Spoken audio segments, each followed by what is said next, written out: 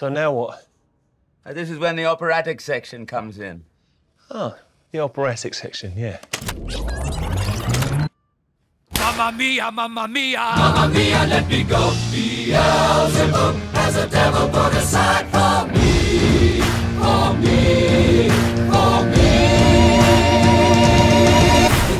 Forever, six bloody minutes. I pity your wife if you think six minutes is forever.